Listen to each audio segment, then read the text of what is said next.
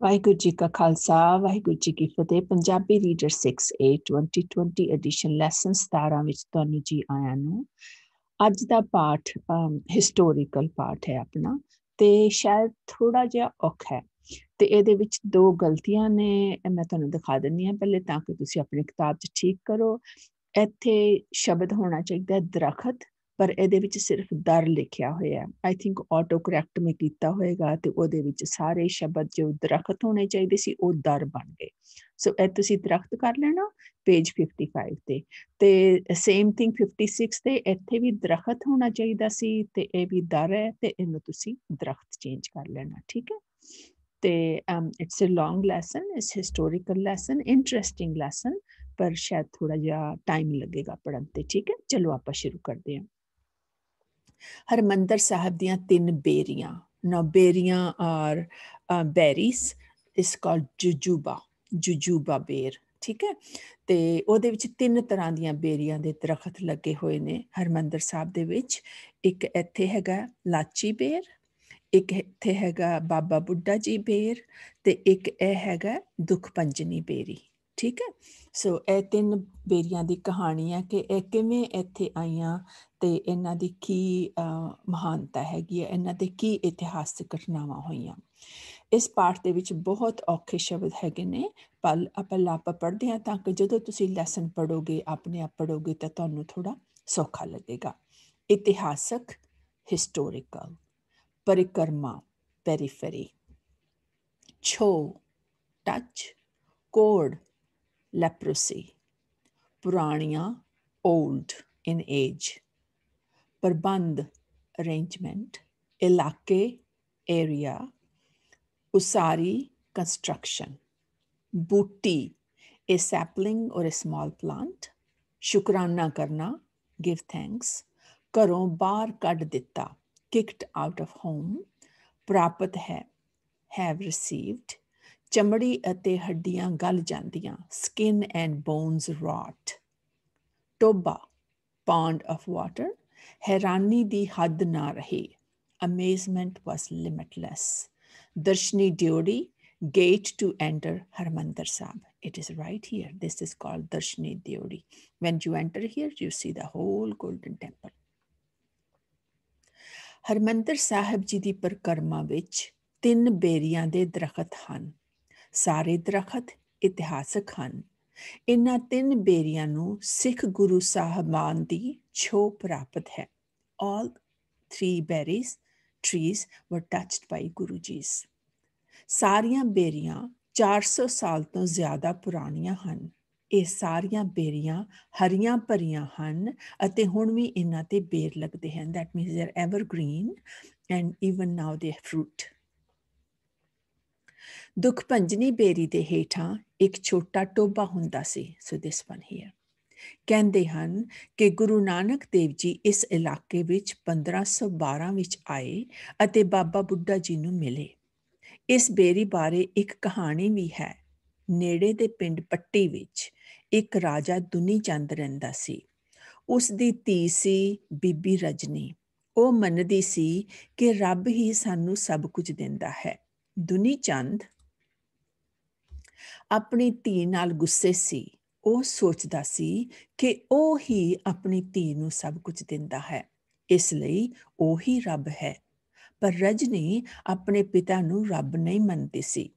ਗੁੱਸੇ ਵਿੱਚ ਦੁਨੀ ਚੰਦ ਨੇ ਰਜਨੀ ਦਾ ਵਿਆਹ ਇੱਕ ਕੋੜੀ ਨਾਲ ਕਰ ਦਿੱਤਾ। ਕੋੜੀ is a person a man who had leprosy a leper and ਅਤੇ ਉਸ ਨੂੰ ਘਰੋਂ ਕੱਢ, ਬਾਹਰ ਕੱਢ ਦਿੱਤਾ ਤੇ ਕਿਹਾ, ਜਾ ਜਾ ਕੇ ਆਪਣੇ ਰੱਬ ਕੋਲੋਂ ਹੀ ਸਭ ਕੁਝ ਲੈ।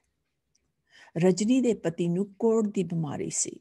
ਕੋੜ ਦੀ ਬਿਮਾਰੀ ਵਿੱਚ ਸਾਰੀ ਚਮੜੀ, ਸਕਿਨ ਅਤੇ ਹੱਡੀਆਂ ਵਿੱਚ ਇਨਫੈਕਸ਼ਨ ਹੋ ਜਾਂਦੀ ਹੈ ਅਤੇ ਉਹ ਗਲ ਜਾਂਦੀਆਂ ਹਨ, ਰੌਟ ਹੋ ਜਾਂਦੀਆਂ।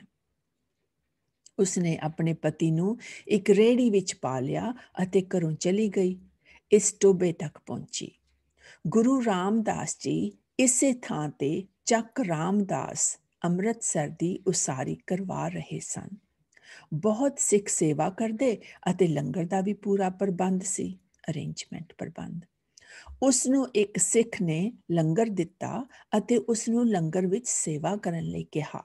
ਹਰ ਰੋਜ਼ ਰਜਨੀ ਆਪਣੇ ਪਤੀ ਨੂੰ ਟੋਬੇ ਦੇ ਨੇੜੇ ਬੇਰੀ ਦੇ ਹੇਠਾਂ ਬਿਠਾ ਦਿੰਦੀ ਅਤੇ ਲੰਗਰ ਵਿੱਚ ਸੇਵਾ ਕਰਦੀ। ਇੱਕ ਦਿਨ ਉਸ ਦੇ ਪਤੀ ਨੇ ਇੱਕ ਅਜੀਬ ਗੱਲ ਦੇਖੀ ਸਟ੍ਰੇਂਜ ਥਿੰਗ ਕਾਲੇ ਕਾਂ ਆਏ ਟੋਬੇ ਦੇ ਪਾਣੀ ਵਿੱਚ ਵੜੇ, ਪਰ ਜਦ ਬਾਹਰ ਨਿਕਲੇ ਤਾਂ ਉਹ ਚਿੱਟੇ ਸਨ। ਉਸ ਨੂੰ ਯਕੀਨ ਨਾ ਆਇਆ, ਉਹ ਰਿੜ ਕੇ ਟੋਬੇ ਕੋਲ ਗਿਆ। ਹੀ ਕੁਡਨਟ ਵਾਕ ਸੋ ਹੀ ਕ੍ਰਾਲਡ ਉਸ ਨੇ ਆਪਣਾ ਹੱਥ ਟੋਬੇ ਦੇ ਪਾਣੀ ਵਿੱਚ ਪਾਇਆ। ਉਸ ਦਾ ਹੱਥ ਠੀਕ ਹੋ ਗਿਆ। Remember his skin was rotten ਫਿਰ ਉਹ ਟੋਬੇ ਵਿੱਚ ਵੜ ਗਿਆ। ਉਸ ਦੀ ਹੈਰਾਨੀ ਦੀ ਹੱਦ ਨਾ ਰਹੀ। ਉਸ ਦਾ ਸਰੀਰ ਬਿਲਕੁਲ ਠੀਕ ਹੋ ਗਿਆ। ਰਜਨੀ ਵਾਪਸ ਆਈ ਤਾਂ ਉਸ ਨੂੰ ਦੇਖ ਕੇ ਬਹੁਤ ਹੈਰਾਨ ਵੀ ਹੋਈ ਅਤੇ ਖੁਸ਼ ਵੀ ਹੋਈ। ਰਜਨੀ ਅਤੇ ਉਸ ਦਾ ਪਤੀ ਗੁਰੂ ਰਾਮਦਾਸ ਜੀ ਕੋਲ ਗਏ ਅਤੇ ਉਹਨਾਂ ਨੂੰ ਸਾਰੀ ਕਹਾਣੀ ਦੱਸੀ। ਗੁਰੂ ਜੀ ਨੇ ਇਸ 베ਰੀ ਦਾ ਨਾਂ ਦੁਖ ਪੰਜਨੀ 베ਰੀ ਰੱਖ ਦਿੱਤਾ ਅਤੇ ਸਭ ਇਸ 베ਰੀ ਨੂੰ ਦੁਖਪੰਜਨੀ 베ਰੀ ਕਹਿੰਦੇ ਹਨ। ਇਸ ਟੋਬੇ ਦੀ ਥਾਂ ਤੇ ਹੀ ਅੰਮ੍ਰਿਤ ਸਰੋਵਰ ਬਣਾਇਆ, ਬਣਿਆ। ਇੱਥੇ ਹੁਣ ਵੀ ਲੋਕ, ਬਹੁਤ ਲੋਕ ਇਸ਼ਨਾਨ ਕਰਦੇ ਹਨ। ਲਾਚੀ 베ਰੀ ਦਾ ਦਰਖਤ ਦਰਸ਼ਨੀ ਡਿਉੜੀ ਦੇ ਸੱਜੇ ਪਾਸੇ ਹੈ। ਇਸ 베ਰੀ ਨੂੰ ਛੋਟੇ, ਲਾਚੀ ਵਰਗੇ ਬੇਰ ਲੱਗਦੇ ਹਨ। ਸਿੱਖ ਕਦੀ ਵੀ ਹਰਮੰਦਰ ਸਾਹਿਬ ਦੀ ਬੇਅਦਬੀ ਬਰਦਾਸ਼ਤ ਨਹੀਂ ਕਰ ਸਕਦੇ। 1740 ਵਿੱਚ ਇਸ ਲਾਚੀ ਬੇਰ ਦੇ ਹੇਠਾਂ ਇੱਕ ਇਤਿਹਾਸਕ ਘਟਨਾ ਹੋਈ ਸੀ। ਮੱਸਾ ਰੰਗੜ ਮੁਸਲਮਾਨ ਨੇ ਹਰਮੰਦਰ ਸਾਹਿਬ ਦੀ ਬੇਅਦਬੀ ਕੀਤੀ। ਹਰਮੰਦਰ ਸਾਹਿਬ ਵਿੱਚ ਕੁੜੀਆਂ ਦੇ ਨਾਚ ਕਰਵਾਏ, ਸ਼ਰਾਬਾਂ ਪੀਤੀਆਂ ਅਤੇ ਸਰੋਵਰ ਦੀ ਵੀ ਬੇਅਦਬੀ ਕੀਤੀ। ਦੋ ਬਹਾਦਰ ਸਿੱਖ, ਭਾਈ ਸੁੱਖਾ ਸਿੰਘ ਅਤੇ ਭਾਈ ਮਹਿਤਾਬ ਸਿੰਘ ਉਸ ਤੋਂ ਬਦਲਾ ਲੈਣ ਲਈ ਹਰਮੰਦਰ ਸਾਹਿਬ ਆਏ। ਅੰਦਰ ਜਾਣ ਤੋਂ ਪਹਿਲਾਂ ਉਹਨਾਂ ਨੇ ਆਪਣੇ ਕੋੜੇ ਇਸ 베ਰੀ ਨਾਲ ਬੰਨੇ। ਅੰਦਰ ਜਾ ਕੇ ਉਹਨਾਂ ਨੇ ਮੱਸੇ ਦਾ ਸਿਰ ਵੱਢ ਦਿੱਤਾ ਅਤੇ ਹਰਮੰਦਰ ਸਾਹਿਬ ਦੀ ਬੇਅਦਬੀ ਕਰਨ ਦਾ ਬਦਲਾ ਲਿਆ। ਇਸ 베ਰੀ ਦੇ ਨਾਲ ਹੁਣ ਇੱਕ ਗੁਰਦੁਆਰਾ ਹੈ। ਬੇਰ ਬਾਬਾ ਬੁੱਢਾ ਜੀ ਤੀਜਾ ਦਰਖਤ ਹੈ। ਇਹ ਦਰਖਤ ਦਰਸ਼ਨੀ ਡਿਉੜੀ ਦੇ ਖੱਬੇ ਪਾਸੇ ਹੈ। ਇਸ ਬੇਰੀ ਦੇ ਹੇਠਾਂ ਬੈਠ ਕੇ ਬਾਬਾ ਬੁੱਢਾ ਜੀ ਸ੍ਰੀ ਹਰਮੰਦਰ ਸਾਹਿਬ ਦੀ ਉਸਾਰੀ ਕਰਵਾਉਂਦੇ। So these are the 3 trees ਜਿਨ੍ਹਾਂ ਦੇ ਥੱਲੇ ਤਿੰਨ ਹਿਸਟੋਰੀਕਲ ਇਵੈਂਟਸ ਹੋਈਆਂ, ਠੀਕ ਹੈ? ਇਸ ਐਸੇ ਦੇ ਵਿੱਚ 583 ਸ਼ਬਦ ਨੇ 583 words it's a long essay if you are reading 60 words per minute or 70 words per minute you can easily take 8 to 10 minutes to read this ਠੀਕ ਹੈ? But it's okay take your time, read it, and then you're going to answer these questions. So these questions should not be hard for you. These are multiple choice questions, and these are um, uh, fill in uh, right in the answers. So question padho te inna de answer likho. ठीक है? I I think think have any problem problem. ਤੇ ਫਿਰ ਤੁਸੀਂ ਇਹ ਜਿਹੜੇ words ਨੇ, ਪੰਜਾਬੀ ਦੇ ਸ਼ਬਦ ਨੇ ਫਰੇਜ਼ਸ ਨੇ, ਇਹਨਾਂ ਨੂੰ ਇੰਗਲਿਸ਼ ਦੇ ਮੀਨਿੰਗਸ ਨਾਲ ਜੋੜੋਗੇ, ਤੇ ਫਿਰ ਤੁਸੀਂ ਇਹ ਥੋੜੀ ਸ਼ਾਇਦ ਤੁਹਾਨੂੰ ਹਾਰਡ ਹੋਏਗੀ ਕਿ ਤੁਸੀਂ ਇਹਨਾਂ ਇਵੈਂਟਸ ਨੂੰ ਆਰਡਰ ਵਿੱਚ ਲਿਖਣਾ ਹੈ। ਠੀਕ ਹੈ? ਕਿ ਸਭ ਤੋਂ ਪਹਿਲੇ ਕੀ ਹੋਇਆ ਸੀ ਤੇ ਸਭ ਤੋਂ ਅਖੀਰ ਤੇ ਕੀ ਹੋਇਆ ਸੀ? So you will start with number 1 number 2 number 3 and so on ਠੀਕ ਹੈ? um so let's see number 1 ਕਿੱਥੇ ਹੈ um